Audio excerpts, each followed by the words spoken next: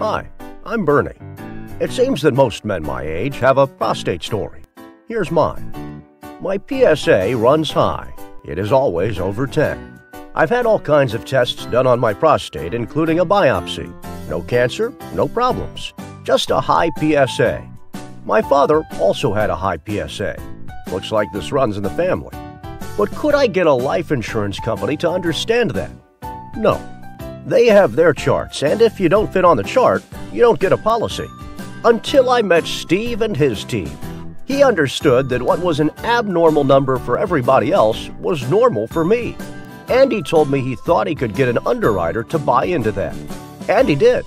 I don't know how he did it, but that's why he's an expert in his field. My expertise is advertising. 40 years in the business. Now I am retired and have the time I want to play with my grandchildren. This insurance policy is going to leave them quite a hefty legacy. I couldn't be happier.